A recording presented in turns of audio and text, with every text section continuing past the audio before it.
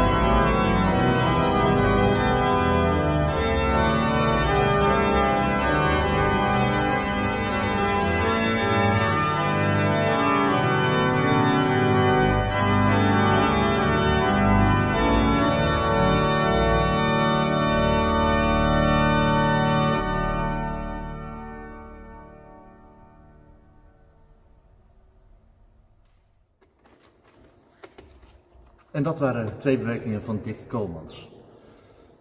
Dan iets over het orgel op zondagavond. Er gaat iets veranderen. Tot nu toe hoorde u ons om de twee weken. Die frequentie was erg hoog. Maar in coronatijd was dat misschien mooi. Maar nu corona op zijn retour is, hebben we, Arnoud en ik, besloten om de frequentie te verminderen. We gaan naar eens per maand.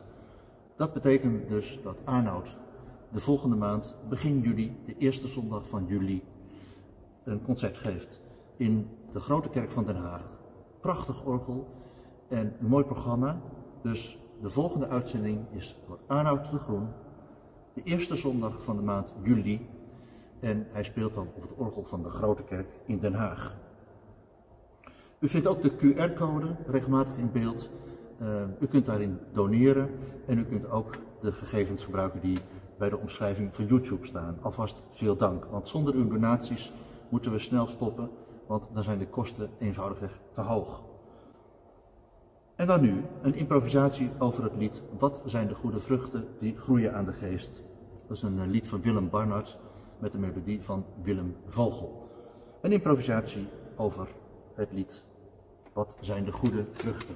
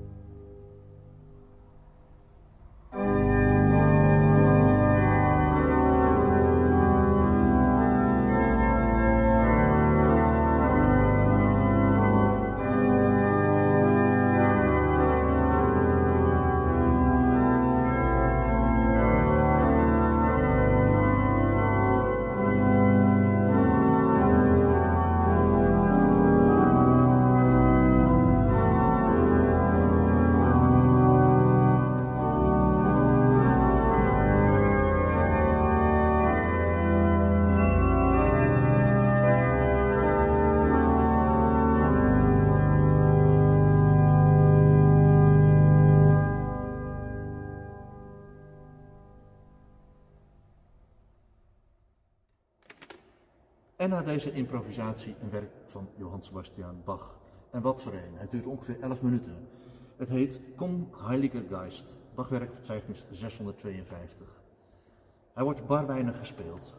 Um, nou, daar brengen we dus nu verandering in, maar wel met enige twijfel, want ik weet wat het van u gaat vragen. Namelijk een soort van uithoudingsvermogen, focus, en u moet in een soort eeuwigheidsstand zitten. U kunt dus niet even weglopen, even een bakje koffie halen en weer gaan zitten. U moet echt luisteren, blijven luisteren. Wat gebeurt hier? Nou, dat couplet dat wordt uitgesmeerd over 11 minuten, dan snapt u dat er tussen de regels heel veel tijd zit. Hoe vult Bach dat dan in? Hij gaat als het ware elke regel die komt imiteren. Maar dat betekent dus van tevoren imiteren. Dus de regel die eraan komt, die gaat hij als het ware alvast spelen. Nou, in wat verschillende toonhoogtes, fugatis, min of meer. Ehm, het zijn eigenlijk voorimitaties en waardoor het koraal al uitgebreid te horen is voordat het een cantus firmus wordt. Ik ben erg benieuwd wat u ervan vindt trouwens. Uh, hoe, hoe, uw luisterervaring is naar dit stuk. En uh, ik heb hem als laatste uh, geprogrammeerd. Dus als u het echt niet volhoudt, dan moet u het maar op een ander moment luisteren. Maar doe het wel, niet voor mij, maar omdat het zo'n mooi werk is. Nou, ik wens u een eh, mooi eh, eeuwigheidsmoment toe. Met koptelefoon of in de stilte. En vooral een fijne zondagavond. Bedankt.